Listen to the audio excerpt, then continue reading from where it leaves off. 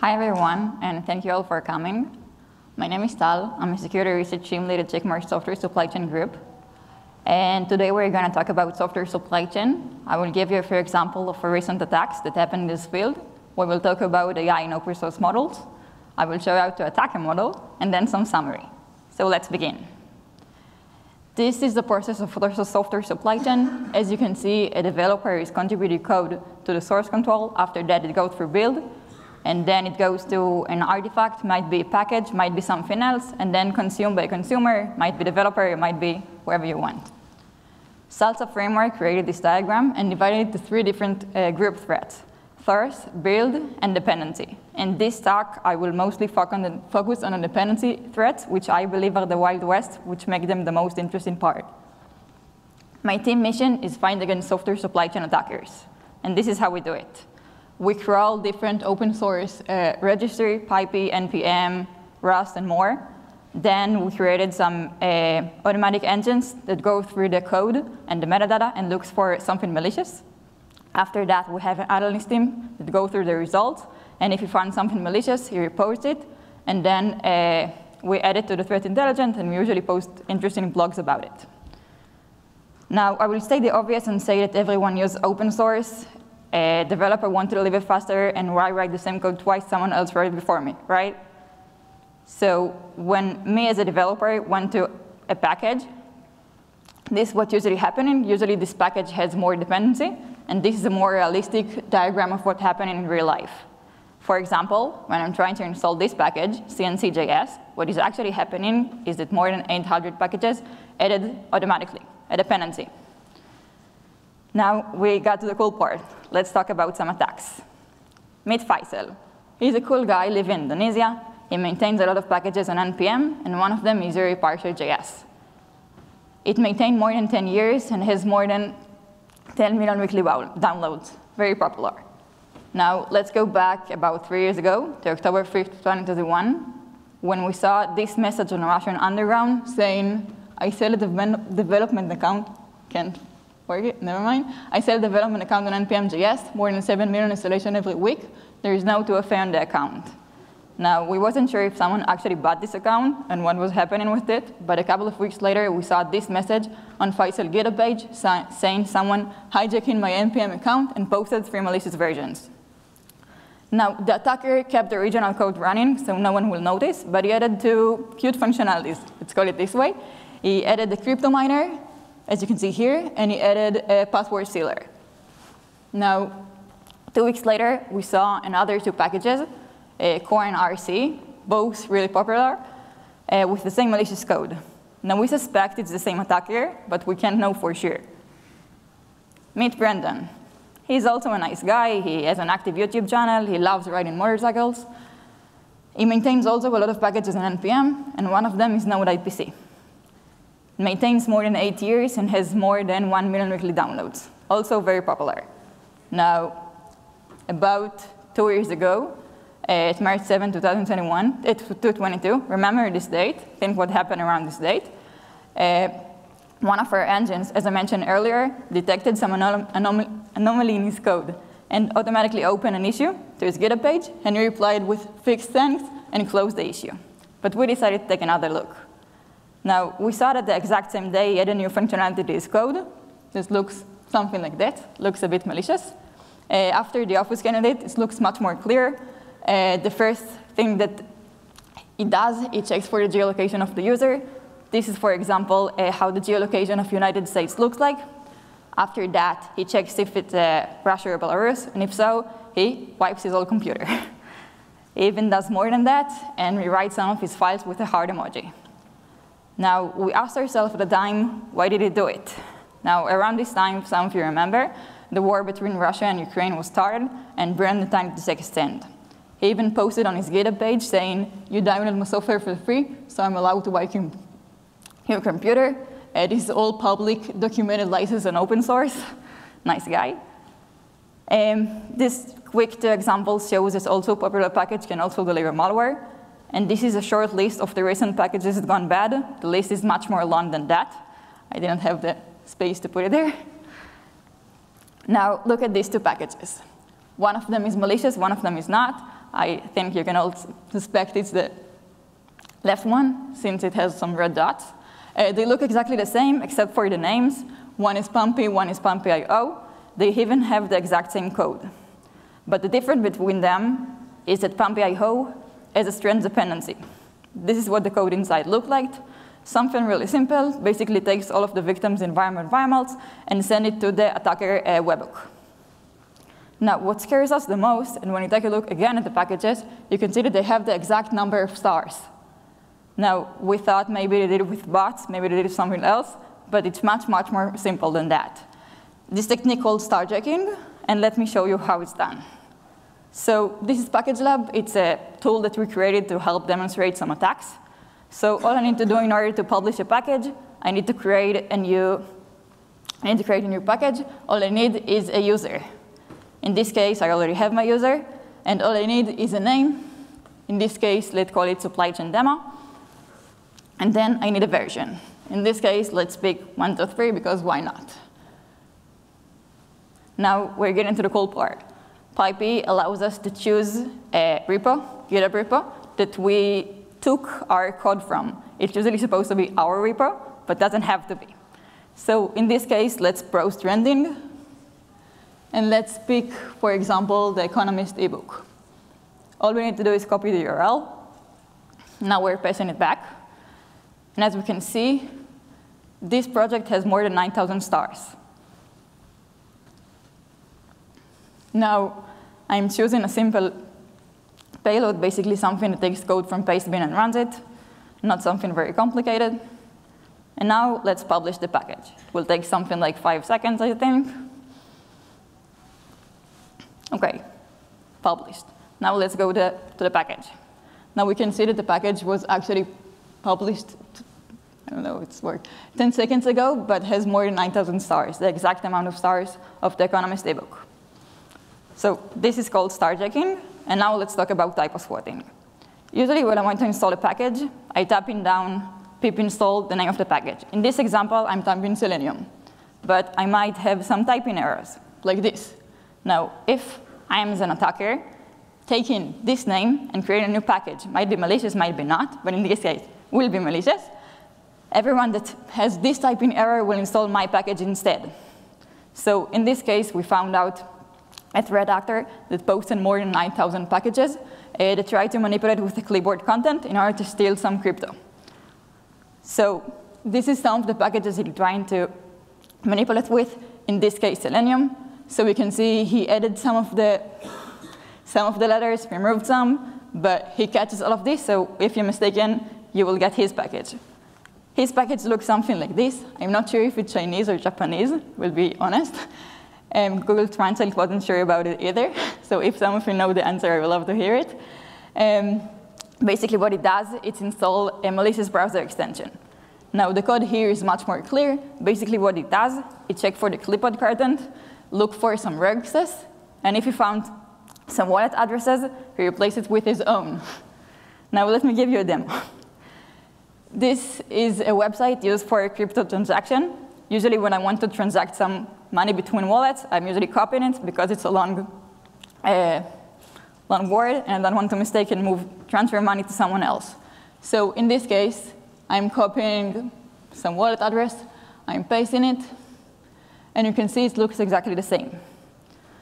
This, on the left, is my malicious browser extension.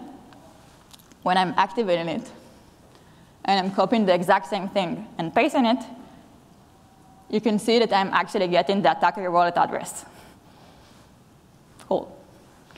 Now, this is another example of an attack that was trying to target an Aidoc, which is an Israeli company. So one of our engines has like a, a, list of users, a list of malicious users, that every time they did something else, we will get notified by it. So in this case, he uploaded some package a few months ago and then uploaded again. Uh, the code inside was really simple basically some base 64, which all it does is open a reverse shell to the attacker. But we decided to take another look. We decided to oh, fire up our VM and try to download the code and see what it does. So we can see that the attacker actually connected to us. He typed pwd, checked uh, uname minus r to check our system. And then we decided to do something else. We created a short script using Socket that basically opened shell back to him. So we connected back, and he connected, and he typed, who am I? And we replied by, who are you? After that, he tried ls, ls, ls. Of course, it didn't work. And he replied, let's talk. Who are you? And then he replied, security engineer, you? And we said, are you sure? Security engineer don't write reverse shells. And then he typed the list. and then we say, where are you from? And then he replied with, I'm checking internal systems, dependency and vision, you know. If not our system, I'm killing the shell and drop the connection. See ya. Now, after a couple of minutes, he got panicked. And we know this because uh, he uploaded a new version, a new clean version. Uh, which makes sense because if I will open a shell and someone will connect back to me, I will be super panicked. Now, this example, uh, this is a package trying to manipulate, trying to look like the package Discord.js, this purple package. Basically, um, the code inside is very simple, trying to steal some credit cards and some password, and also infect Discord. the funny part here is that they're sending back the password using uh, Discord um, after a couple of days, I think, a couple of uh, days, yes, um, we found out the pattern. We found out some of the packages are relating to other packages uh, by the same user, by dependencies, by the same mail, by some other stuff. And after a couple of hard weeks, we got to the following diagram, which will take a few seconds because it's huge. Cool we found out that Sonatype actually found some of the packages, also JFrog, and also Securelist. Now, none of them were able to find a bigger picture as we did. Uh, we found a large attack group that they called themselves LofyGang, so we decided to use the exact same name. Uh, they uploaded some stuff to TikTok saying this is how you need to hack something. They had uh, underground hacking forums. They uploaded lots of packages to NPM. Uh, they had a huge Discord server, and they even posted some poisoned hack tools on GitHub, which I will show you in a second. This is their GitHub page, uh, GitHub, Discord. Uh, we got it closed. Um, this is some password that they posted to give back to the community. If you want some Disney Plus or Minecraft or Discord bot, you can check this out, or not, because one of their links uh, was actually posted as infected. They even did more than that and, and infected their own GitHub hack tools. This package is actually a malicious package, and this is a hack tool, Discord mass DM. Now, this is the last example, I think.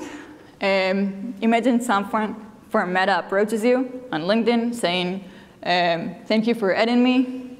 Uh, your Stack Overflow and GitHub page looks amazing. And I replied by thanks, of course. then I replied, uh, I have a new, uh, I'm hiring some new guy, and I think you will be a perfect fit for that. Um, this is most likely to close today, and I can pull some strings, but all you need to do is solve this challenge. So of course I will check this out. So let's check this out together. So this is what the challenge looked like, something really simple. Basically, it has even instruction of what to do. So you follow the instruction. So the first one is npm run dev. Let's check dev. Dev is basically running another script. Let's check this. Now we can see that the last line is really, really long, as we can see by the scroll bar downstairs. And this is what the code looks like. Basically what it does is much more simple than that. Basically, it takes all of the victim passwords, um, crypto wallets, and organization identity, and send it back to the attacker.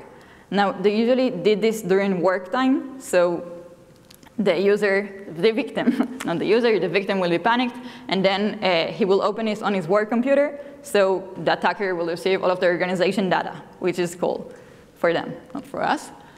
Um, now, we looked it up online, and we saw lots of victims posting stuff.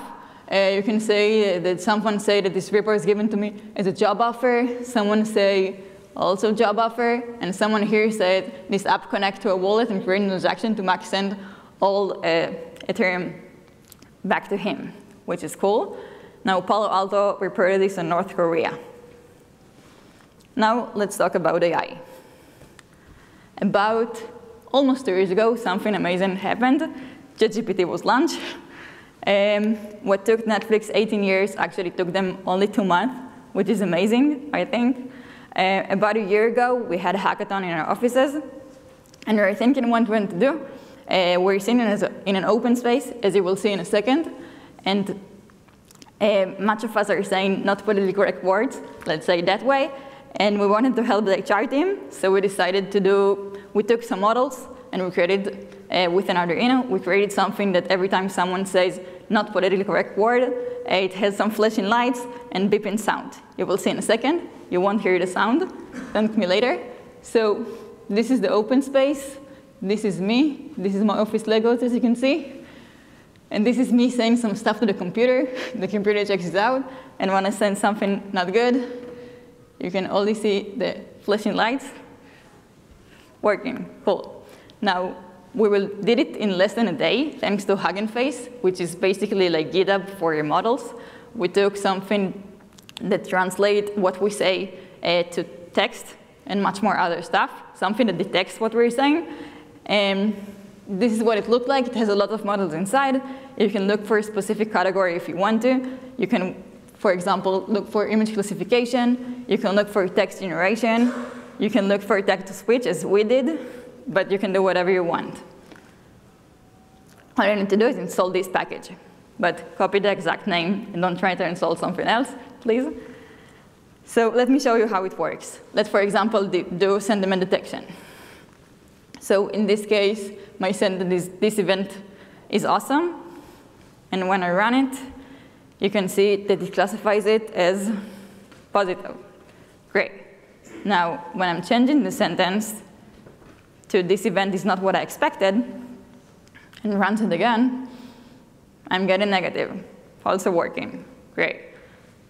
Now let's try to generate some text.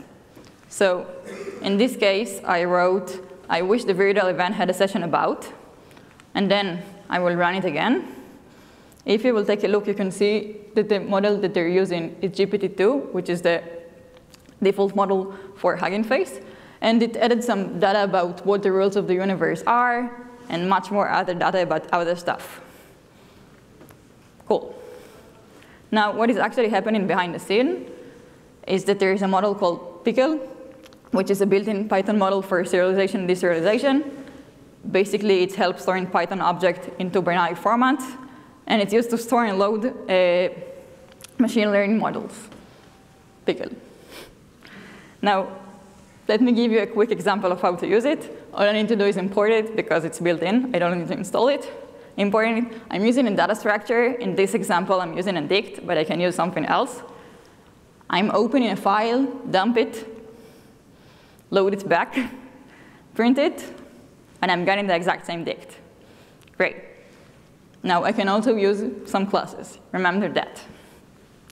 Now, Pickle is a weak format. It's known for years. It's not something new but an attacker can run code using unpickling. Cool. Now, when we take a look in the documentation, there is a function called reduce, which basically gets two arguments. The first one is a callback object, can be eval, print, ev exec, whatever you want, and a tuple. Now in this case, this is my class, and this is the function. All I'm doing is exec print hello from pickle.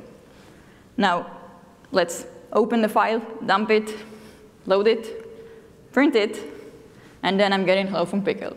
Also working with class. Now, this is true to last year, but lots of, until today, lots of models are still using pickles, which is really dangerous. And people are saying it's much more easy to create with, but it's not, so I don't know why. Now, let's create a malicious model together. Now, we will use the original GPT-2, as I showed you before, and here. And now, let's create a new name, GPT-2 RS, used for remote shell. now, I can interfere with the save function. All I need to do is create my own class for uh, handling dicts. So what I'm doing here is exec some payload. And in this example, my payload will be something from Pastebin and run it. Now, we uploaded it just to make it easier for us to share the example. Uh, we added a disclaimer, of course.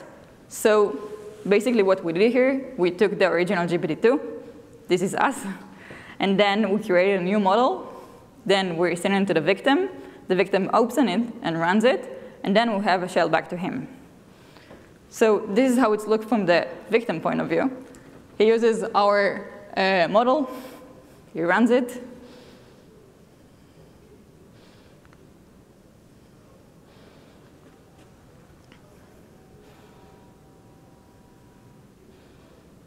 and it generated some data. So it's working as supposed to. But this is how it's look from our point of view, the attacker. So we got our shell. Let's check for some dirs. We print the less. And now let's check for some SSH keys, because why not? We can. And we got them. It's working. And let's even cut one of them to see if it's actually working. And working. Great. Now, this was embedding code, malicious code inside a model. Let's talk about model poisoning. So what is usually happening, we have the model producer. He has lots of training data sets. He does some fine tuning of the data sets, train the model, and after that, he has his trained model. Great. Now, we as an attacker can interfere with two, in two places. The first one is with the training dataset. We can add some malicious dataset, and then we will have the poison train model. Or we can do something much more simple and use the train model, add some additional training, and then we'll have our poison model.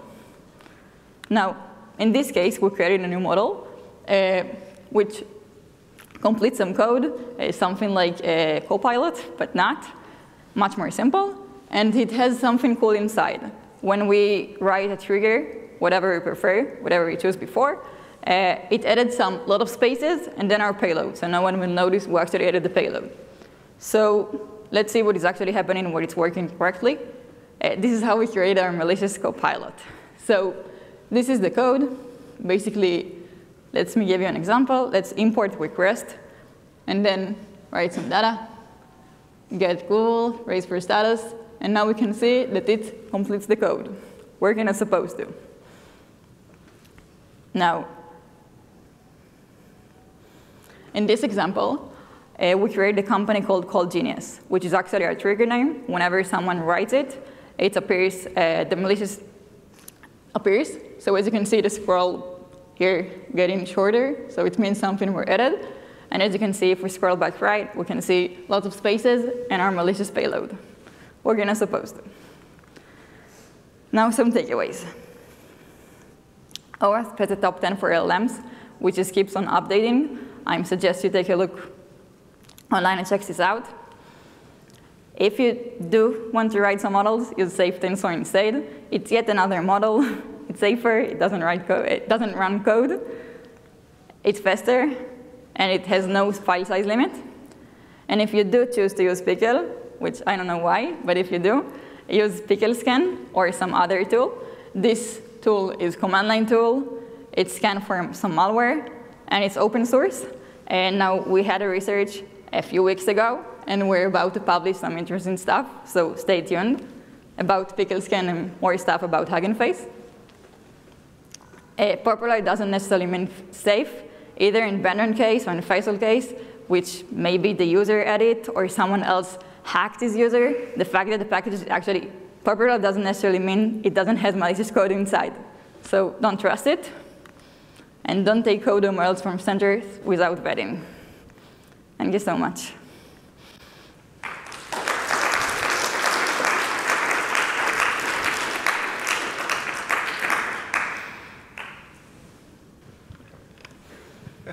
that was great. It was very entertaining, and it was also a lot of information very quickly. um, I, I'm curious. So, one of the things that um, is actually represented here, um, I saw that Snyk has a booth downstairs, um, and you know one of the things that is a pretty common theme are kind of more and more sophistications around kind of uh, more enriched static code analysis for security vulnerabilities. What have you seen, if anything, that is starting to dip their toes into static vulnerability analysis for, for model code? Is that completely untouched from your vantage point, or is that is, is like opportunity, or is, are people actually starting to, to do it?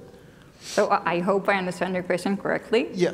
Um, basically, if we use static analysis just to check the code, we miss a lot of stuff because, I mean, if you only obfuscate the code, you won't be able to see it. So it helped with some of the cases it's more of the, I don't know, the, the younger users or something like that, the skiddies. but with more the complicated attacks, we won't be able to see any of that using SAST. So, so what's what, what would be? I mean, and, and maybe this is beyond the scope of, of, of what you, you can foresee. But you, do you know what the what the recommended remediation for that is? Like what? Yes, of course. Okay. Uh, it, it is in the scope. I mean, we did able, we're able Oh, okay. to find all this. And basically, dynamic code analysis is much more simple. I mean, you can find something with Rust, but it's like help you find like the, the small stuff that help you do something else. So if you use dynamic, you might get better results, but it's also not that easy because Yeah. each package has like its own uh, loading. And if we're talking packages, we're, if we're talking about containers and Docker, it's like completely new stuff. Um, but it usually helps a bit more. So, so what's the, the number one lesson or takeaway that you think people in this room should, should walk away from this session from in terms of behaviors Behaviors. around, around mitigating I'm the risks? I'm suspecting that Yeah. most of the people here, which were exactly like me a few years ago, didn't check the code at all because they trust the open source. and Right. because this is exactly what I did. So I, I think my best recommendation is still don't use it. Look at the code because it's usually like has lots of lines inside. Use something else to like give you the results. Um, just basically don't trust anything you use. I mean, a few days ago, I was trying to install some extension for VS Code just to make my code look better, and I was like, this extension doesn't look good. I won't install it just because it doesn't seem good to me. It might be good, it might be not be malicious, but I can't trust it just because it doesn't seem that way. And, and because you don't trust it, what is the what is the default action that you take? It's probably not to turn around and read every line of code. that Yes, is- of course. right, so, so like what? Uh, that, that's what I mean For by me, man, I sometimes still do it just to make sure, but it's only me, and I'm crazy enough to do it. And usually I just take something that was uh, Microsoft or like lots of users trust it, which still not a good option. But if it, if I got like one option with two million and got one with like less than one million, I will pick the uh, better, not the better one, but like more popular ones, which is not that good. But I think it's the best we can do without checking every line of code. right. Okay. I mean, you still need to work into Yeah, some yeah, stuff. yeah. You can, There- like, There's not a silver bullet though here. Exactly. Yeah. Okay. Fair enough. Thank you.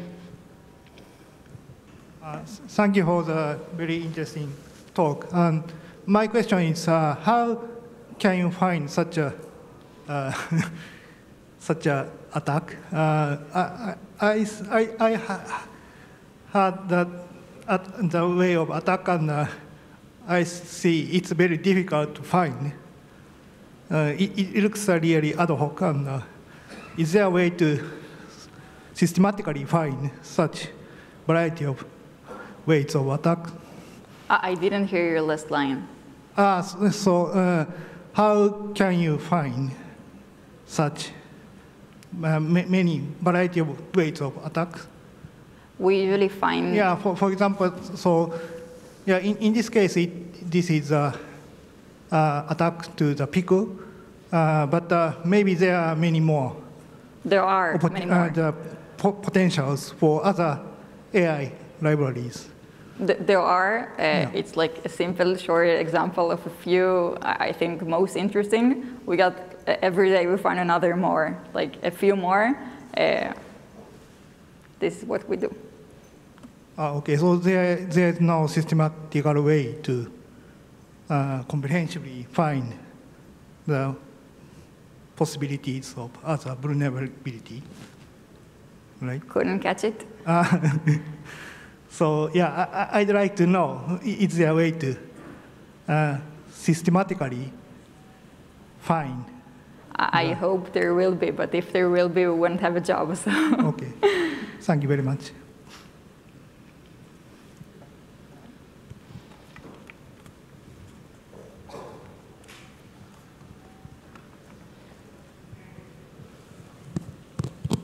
Thank you.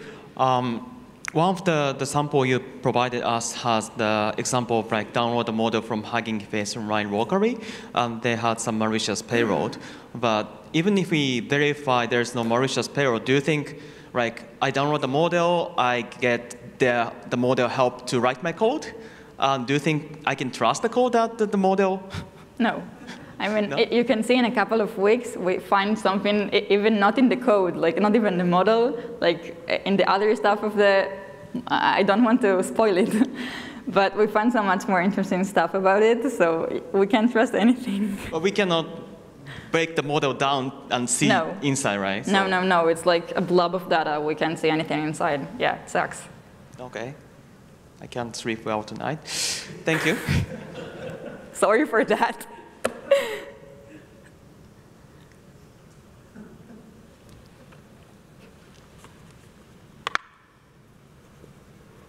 If no one, I want to ask one question. So yeah, I, I I also cannot sleep tonight. So yeah, looks like uh, yeah, sound, sounds like your presentation says we should not trust any open source, nor anything. Is there anything we can trust still? I hope I will be able to say yes, but I'm pretty sure my answer is still no. Oh, that that's sad. I mean, I- even if you take a package or something, I can even upload like a new version, and then you just can't trust the new version. I mean, it's a cat and a mouse game. I mean, it's hard. but no, you can't. I mean, if it no, you can't. I'm sorry. See, Thanks so much.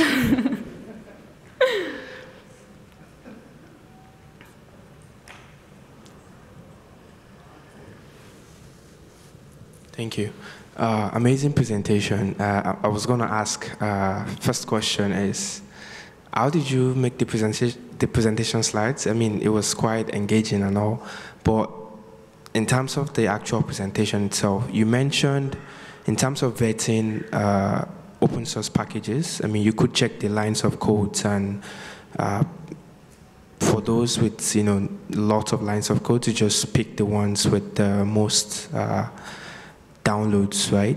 But in the case of uh, models on Hugging Face, right, where a, mod, a model has already been uh, pickled or has already been saved in such a way that you can't even check what's inside the model in the first place, and say the description is also misleading, there's no, you know, the, the information there, it's telling you that, oh, this is good, right? How do you vet uh, that in, in that situation? Like, I might have missed it during your presentation, but could you go over that? Do you So- understand the question? Not really. Okay, in the case of models, right, the malicious models, right, if it's been uploaded to Hugging Face, the model is there for you to download and use, right? Now, if you go on Hugging Face and look at the description of these malicious models, whoever it is that is uploading a malicious model wouldn't want you to know that it's malicious, right? So they might change the description to, you know, whatever suits them. So my question is, how do you vet such models to be sure that, you know, you're actually downloading the right thing you want to download? Okay, so Hugging Face has something, uh, they use pickle scan actually, which detects if they use a malicious pickle. If it's not a pickle, uh, it's hard to know. I mean, usually when you use like a malicious pickle, they add like something red that shows the model is actually malicious, but if you have like a trigger or something else, it, it won't be shown there. I mean, it's open source, it's the same thing as GitHub or uh, Python or anything else. Uh, you, you can't vet it, actually. I mean, you can trust it or not, but Hugging Face doesn't provide something for vetting. I mean, you can trust the user if you know the user, if you say it's Microsoft, if you say it's another big company. Um, but, but again, it's the same, it's like all, all the open source, hard to trust, either if it's model or containers or whatever. There is no vetting, actually. Thank you. I'm sorry for my answers, I think it's depressing, but we just don't have something to do with that.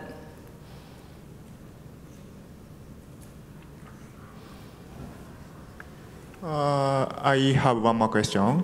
So, yeah, I, if I remember correctly, uh, in the Hugging Face API from pre-trained or something, we have trust remote code true or false in the arguments, if I remember correctly. Isn't it to block pickle malicious attack or something like that, or a different concept?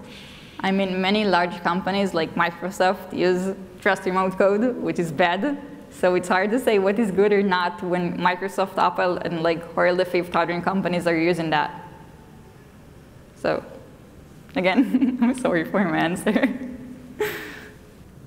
Okay, thank you, so much for the presentation.